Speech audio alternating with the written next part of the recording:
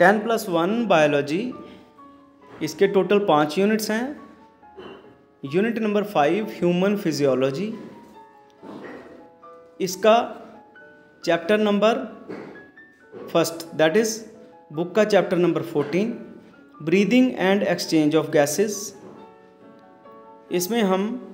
Total छः parts पढ़ेंगे।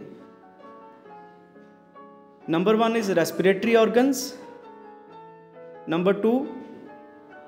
mechanism of breathing number three exchange of gases number four transport of gases number five regulation of respiration number six disorders of respiratory system okay तो first जो part है respiratory organs इसका एक part है human respiratory system number two mechanism of breathing इसके total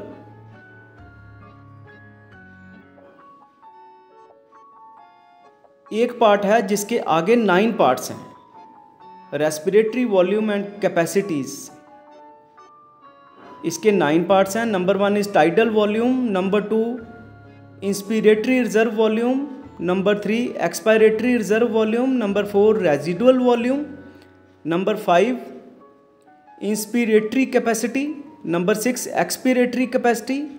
number seven functional residual capacity number eight vital capacity number nine total lung capacity अब third part जो है exchange of gases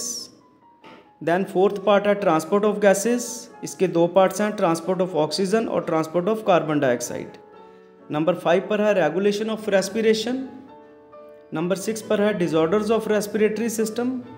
इसके तीन parts हैं asthma emphysema occupational respiratory disorders